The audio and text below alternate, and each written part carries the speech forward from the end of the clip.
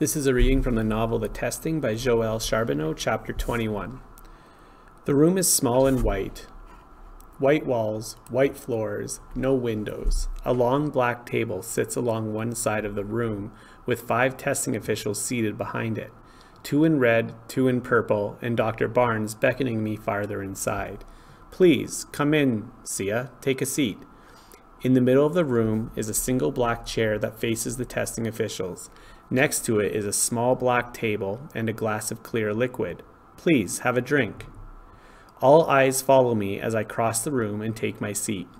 Dr. Barnes nods as I pick up the glass, making it clear the polite request is in order. There is no choice but to drink whatever the glass contains. Water, perhaps something else.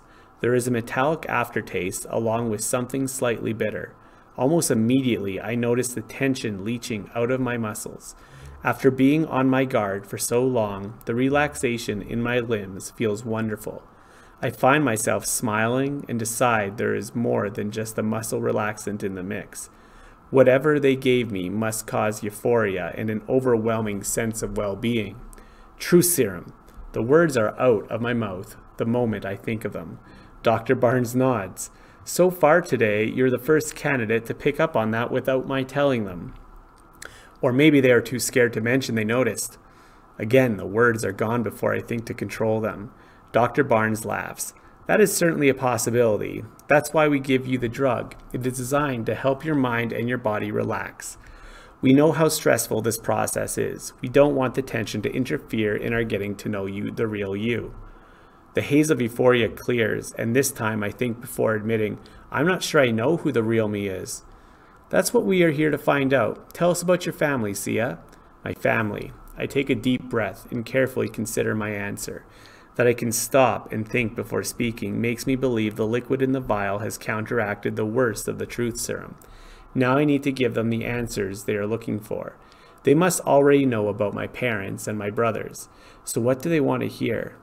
I decide to keep it simple. I list my family members, the other testing officials ask a couple of questions about Five Lakes Colony, and I answer them the best I can. Their questions focus mostly around my father, what he taught me, what he told me about his testing experience. I admit that he told me he remembered very little, but he did warn me some of the other candidates would be very competitive. They ask follow up questions, and though my muscles are loosened, my mind stays alert enough for me to avoid answers that could put my family in jeopardy. When Dr. Barnes mentions he has heard that my oldest brother has spearheaded several projects for my father and asks me whether I think he have, should have been tested for the university, I do not hesitate. I lie. My father tries to give all of his workers credit for projects they work on, whether they deserve it or not. I love Zeen a lot, but his work is sloppy and doesn't merit the credit it receives. I'm relieved to navigate this pitfall when the next opens up in front of me. This time they ask about my father. Did he want his children to follow in his footsteps? Was he excited I was chosen? I keep my answers simple and upbeat. No mention of my father's dreams or his unhappiness at my candidacy. Nothing to cause TOSU officials to think twice about my father's memories of his time in the testing. The questions shift to the testing itself. Why did I alert Brick to what I believed was Roman's deception? To do less would make me a poor teammate. What was my reasoning behind burying the unknown testing candidate? My parents taught me to treat life with respect. Did I come in contact with people from the outside the testing barriers? No. How do I feel about my decision to trust Will? Trusting Will was a poor choice. I will choose more wisely in the future. As I answer, I am constantly aware of Dr. Barnes's eyes studying me, weighing every word. When he finally speaks again, he asks, Tell us about your relationship with Tomas Endress. The question surprises me. Carefully, I answer, The two of us are close friends, he says. He says he loves me, but I think that's because I remind him of home. Surely you feel more than friendship for Mr. Endress. Why else would you have risked your life by taking the time to save his? I bite my lip and try to decide what Dr. Barnes wants to hear. Finally, I say, My family taught me to help others at all costs. It's the Five Lakes Colony way. Dr. Barnes leans forward. Do you think taking time to rework your bicycle in order to save his life was a smart decision? It worked, I answered. We're both alive. Yes, you are, he smiles, but I'm concerned you might be too emotionally attached to a candidate Endress. The benign tone cannot mask the menace behind the words. Even the testing officials flanking Dr. Barnes shift uncomfortably in their seats. The silence stretches between us, making it hard to breathe. It must be my turn to say something, but no question has been asked, and without knowing what he is asking, I cannot hope to answer correctly, and something tells me this answer is the most important of all of them. Finally, when the silence becomes unbearable, I admit, I don't understand. Emotional entanglement can be challenging in these kinds of situations. For instance, what will happen if you are accepted to the university and he is not? My heart thunders. I'll be pleased for myself and disappointed the testing committee didn't recognize Tomas's potential. He's smart and resourceful. The United Commonwealth would benefit from having him attend the university. Should we be concerned that your disappointment could impact your performance at the university? How to answer the question? My mind races. Whatever I say will not only impact my life, but affect Tomas too. To say I'm going to be indifferent will be a lie they can easily identify.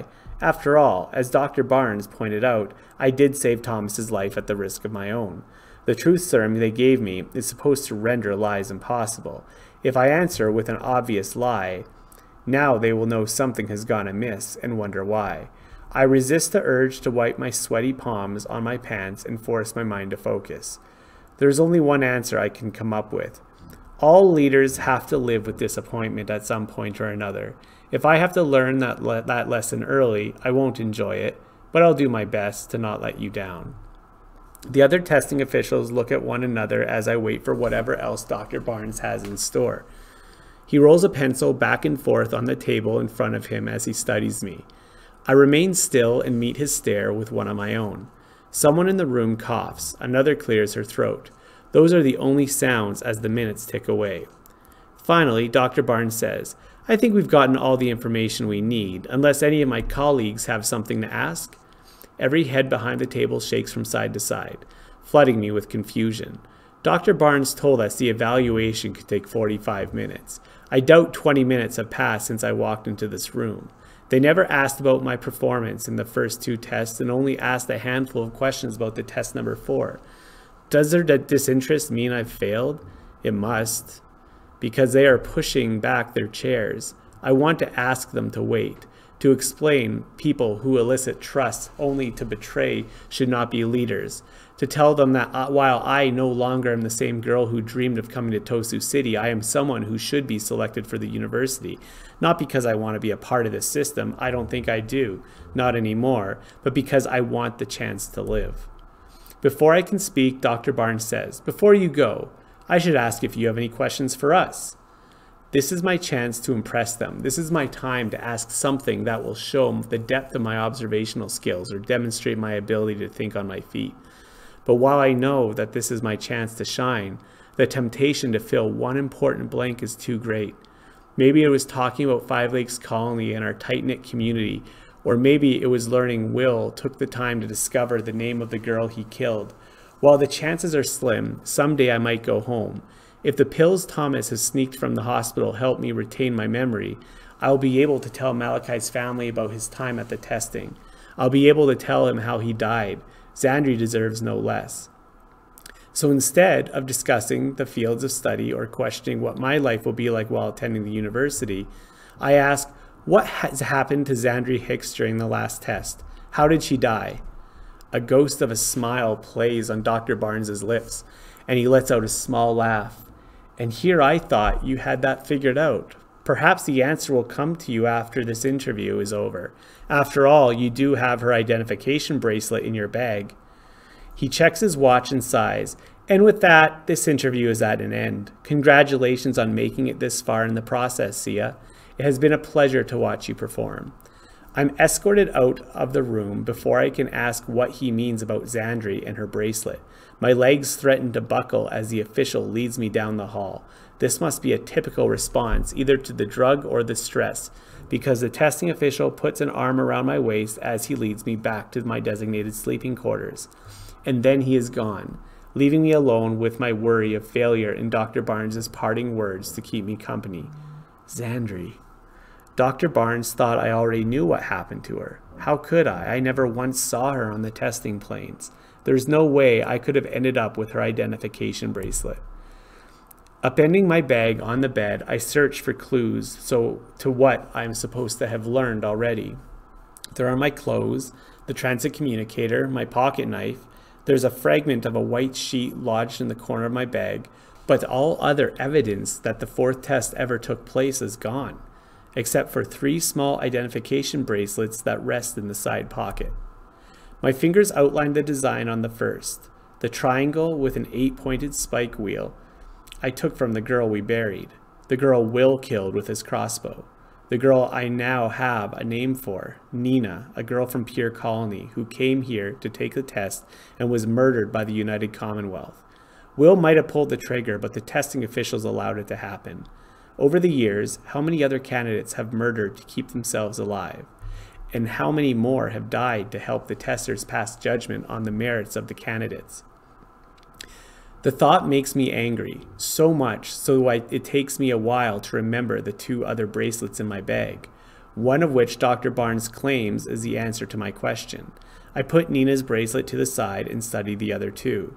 The first displays Roman symbol, an X surrounded by a circle, on the other, smaller bracelet is a triangle with a stylized flower. I think back to our ride to Tosu City. Zandri was flirting with Tomas while her fingers toyed with her bracelet. A bracelet with this design. A bracelet I don't remember picking up. Where did it come from? I think through the events of the fourth test day by day. The run through the wreckage that was once Chicago, the beautiful buoy trapped oasis, Nina's sightless corpse, the hulking wolf like animals giving chase, meeting Stacia, Vic, and Tracelyn, the city with its domed building and maze-like streets, the stream where I was forced to kill, Will, Brick's bullets tearing the mutated humans to shreds, Roman's attack, the girl firing at us so near the end, Will shooting Tomas, my desperate attempt to alter the bicycle to get him back to Tosu City, the ride, wait, my fingers worry away at the side of Zandri's bracelet as a memory hits. A memory so unimportant next to Will's betrayal or Tomas's wound emptying his blood onto the soil. I needed matches, so I searched for I searched Tomas's bag in the dark and found a metal object, an object I believed to be Nina's other bracelet that Tomas must have taken as a remembrance just as I had done. Only I was wrong. The bracelet belonged to Zandri. How did it end up in Tomas's bag? Of the three and a half weeks it took to complete the fourth test, Tomas and I were together for all but a day and a half. Could he have picked up the bracelet while wandering the streets of Chicago? If so, why didn't he tell me? Did he not want me to know that Zandri had failed the test so soon after it began? Did he fear that I would believe failure was inevitable? Maybe. Tomas would have worried for me. He would have wanted me to keep focused and safe. But I am not sure this is the answer. There was one other time Tomas and I were separated, and I know. The bracelet, the dried blood on Tomas's knife, the haunted look in his eyes. Will's words that Tomas is not who I think he is. The candidate that Will and Tomas met while I was gone. Not some unnamed male from Colorado Springs colony. Zandri. The pieces click together with a force that knocks the air from my lungs. I can't move. I can't breathe. I can only clutch the bracelet that belonged to the beautiful girl whose talent everyone from Five Lakes Colony admired. The girl who flirted with Tomas. The girl he must have killed. No, my heart doesn't want to believe it. Tomas wouldn't kill anyone. Not unless he hadn't, hadn't had a choice. I left Will and Tomas together. Isn't it more likely that Will, a proven killer, was the one to murder Zandri? Maybe there was some kind of altercation. Maybe. The possibilities jumble. The combination of drugs in my system is making it hard for me to think clearly. I get up and walk the length of the room, staring at the bracelet in my hand, trying to uncover the truth behind it. As much as my heart wants to think Tomas had nothing to do with Zandri's murder, his unwillingness to share what happened on that day makes it hard to believe otherwise. Betrayal and fear, anger and heartbreak. The emotions hit hard and fast buckling my knees, sending me to the floor. But I refuse to cry. The camera is still on the ceiling, and I will not give Dr. Barnes and the officials behind the screen the satisfaction of seeing me break. And really, aren't they the ones to blame for Zandri's death? They put us in their game and asked us to survive. Whatever Tomas did, I am certain he didn't do it to win a place on the university roster. He must have thought his life was in jeopardy. I jump at a knock on the door. When I open it, I am handed a large tray of food and told the committee is still deliberating. The testing official leaves. I hear the sound of the lock slide into place, and I wait. The meal is extravagant a large steak charred on the outside, but pink and oozing with juices in the middle. There's slices of potato, the version Zeen created, with the skin still on, fried to a golden brown. Cold shrimp is served with tiny slices of lime and a small dish of melted butter. A salad of fresh vegetables and walnuts is tossed with something tangy and sweet. A frosty glass is filled with something clear and bubbly. There is also a clear bottle of water and a piece of cake.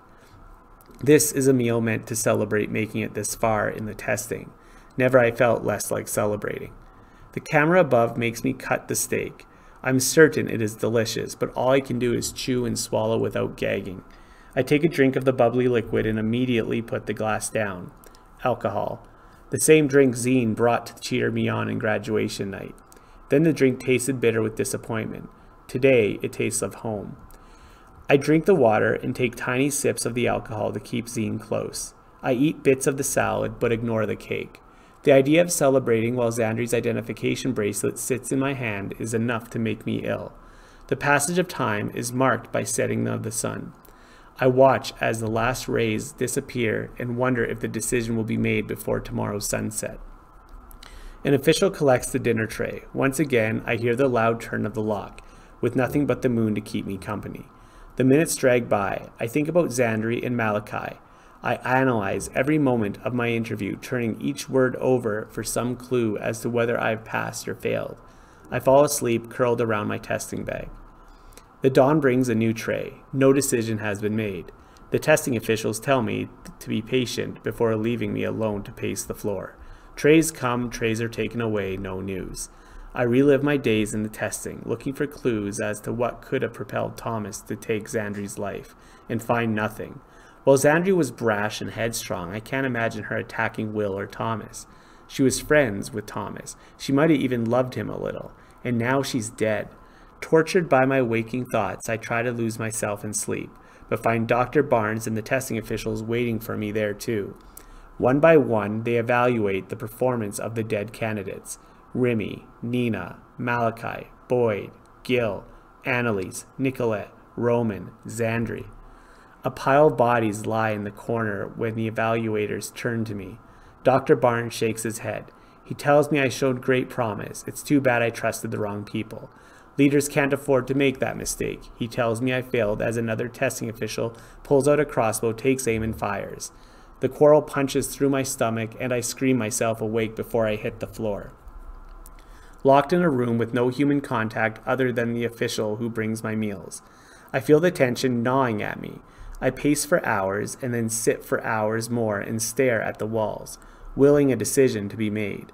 But no decision is forthcoming, and a small part of me wonders if this waiting is also a test. Are Dr. Barnes and his friends sitting behind their screens, watching to see how we handle it? Do other candidates pace as I do? Are my nightmares a strike against me, or does uninterrupted sleep show an undesirable streak of indifference? I stare at the camera above, not caring if the officials see that I know it's there. Or maybe I want them to know, to see I am smart enough to figure out that they are watching. As sleep eludes me, I think about the candidates who have died and the memory wipe that is coming if we cannot outsmart it and wonder for the first time if the candidates who failed the first two rounds of the testing were eliminated or if the Commonwealth simply erased any memory of this experience. Over the past 100 years, the United Commonwealth population has grown, but has it grown enough to eliminate dozens of its most promising citizens every year? And if those candidates aren't eliminated, where do they go? After the morning tray has come and gone, I tire of the eyes that follow me and the ears listening to my awakening screams. Giving my audience behind the camera a small smile, I probe my bracelet, find the clasp, and watch it fall from my wrist onto the bed alongside those that belong to Zandri and Nina. I remove the second bracelet from my bag, place it with the others, and then take my bag and lock myself in the bathroom. The feeling of being alone, really alone, eases some of the tension from my shoulders. I take a shower, I curl up on the floor and nap. With nothing else to do, I go through the items in my testing bag. There are things I brought from home, things my mother sewed, my father touched, my brother worked with, things that helped define who I used to be. No longer afraid of being judged by the cameras, I allow my tears to fall as I touch each one and hold it to my cheek, trying to recapture the person who first packed this bag. I miss the hope she felt, the optimism, the brightness of the future in front of her. If Tomas's pills don't work, will taking away the memories of the testing bring her back? Can losing my memories truly wipe the shadow from my heart? Maybe, and for a moment I allow myself to yearn for that blissful ignorance, dreams filled with peace, a future free of too much knowledge. I jump at the sound of a male voice and turn to see where it's coming from. It takes me a minute to realize the voice is speaking from the device clutched tight in my hands. The soil in Sector 4 is showing signs of sustaining life, and the radiation levels are almost non existent. The new formula appears to be working. Zeen. His work is his voice is strong and healthy and so wonderfully familiar. I ache hearing the sound of it. I must have hit a button that started a playback of Zeen's voice. The transit communicator is also a recorder. Tell Dad there is sick animals in Sector 7. Might be from the new berries we've cultivated there. We should run tests. I remember hearing about that problem over dinner a week or two maybe before my graduation. They argued, laughed, and debated the problem long into the night, even allowing me to add a few thoughts of my own. I felt so grown up to be included, so ready to take on the world. How silly that seems now. For a while, I'm content to listen to Zeen's voice as he records his thoughts on the sections outside the Five Lakes that my father and his team are working to revitalize. A disgruntled word makes me laugh. Mentions of my dad or my other brothers causes tears. And I wonder, how does the recorder work? I know the device can communicate with one dad has in his office, but I've never heard dad mention that it doubles as a recorder. It takes me a while to find the button, a small area in the back that looks to be a part of a casing but has been turned into something more. Something not originally designed to be a part of the device, something created by Zeen. The screwdriver on my pocket knife helps me reveal the rest of his handiwork. I can't help smiling as I admire my brother's ingen ingenuity. A tiny black box has been nestled among the other wires and chips. By the way he spliced and connected the wires, I can see how he rigged the communication microphone to record voices and the earpiece to act the playback speaker. All of it is done with seamless precision. Had I not squeezed so hard and mistakenly triggered the playback button on the back, I would have never have recognized the recording device was there. A knock startles me. Carefully, I slide the items into my testing bag, go into the darkened bedroom, and open the door. The woman on the other side is holding a tray and wears a concerned expression. Is everything okay in here? she asks. I guess my disappearance into the bathroom has not gone unnoticed. I'm fine, I assure her, but from the commotion coming from down the hall, I fear someone else is not. Has one of the other candidates ended the tension like Remy did? Though I should no longer care, I worry for Tomas. I can't help it. No matter how the testing has changed him, he will always be the boy from home who is kind to everyone. I want him to live. The testing official hands me the lunch tray, tells me no decision has been made, and locks the door. For the first time, I don't mind the solitude. I eat the chicken, swimming in a delicate tomato sauce, and the fresh vegetables before once again closing myself off in the bathroom.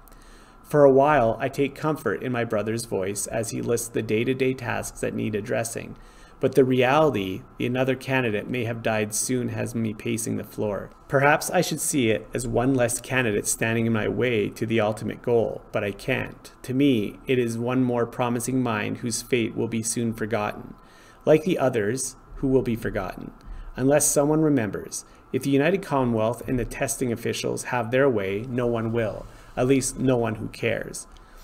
I look at the device in my hands and have an idea. It takes me a few minutes to figure out which series of buttons starts the recording device.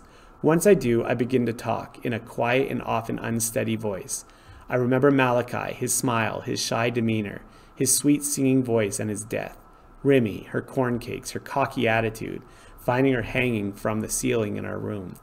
The first of the testing murders. I tell my I tell of waking up in the box, walking out onto the broken streets of Chicago, the crossbow quarrel aimed at me, my terror, how the gun kicked in my hand. I find the recording device can only record so much. I have to pick and choose what I tell. I agonize over which memories to preserve. It breaks my heart when I have to rewind and erase a story to preserve a different one. They all deserve to be remembered, but only a few can. More than once, my tears force me to stop the recording. My heart stings, my lungs burn, and my throat is raw when the recorder is full. But the memories are there, as much as the machine will hold for someone to learn and remember. Will they send the device back to my parents if my candidacy is unsuccessful? I doubt it. But maybe I can ask Michael to get it to them if I'm gone. With my pocket knife, I etch a small design in the back of the device before shoving it in my bag. I then pile my clothes and other belongings on top and wash the evidence of my efforts from my face. When the testing official brings dinner, she again asks for my asks after my welfare. I assure her I am fine and take the tray. Before she closes the door, she says, "A decision has been made. The next class of university students will be announced after breakfast. Pass or fail, this will all end tomorrow." That was chapter 21 from the testing by Joelle Charbonneau.